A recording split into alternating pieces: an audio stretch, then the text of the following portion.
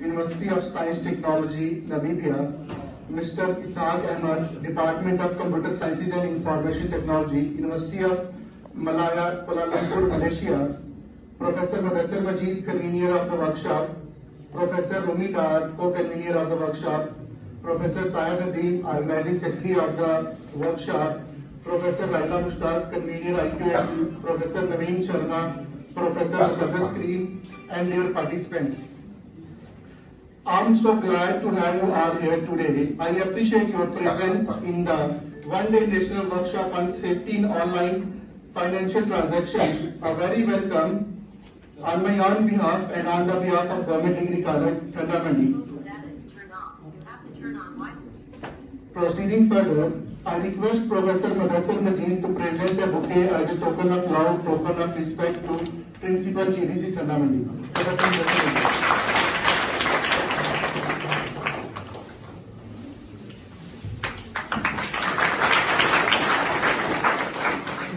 I request Mr. Tahir Nadeem to present a bouquet as a token of love, token of respect to Mr. Isaac Ahmed, invited speaker of the event.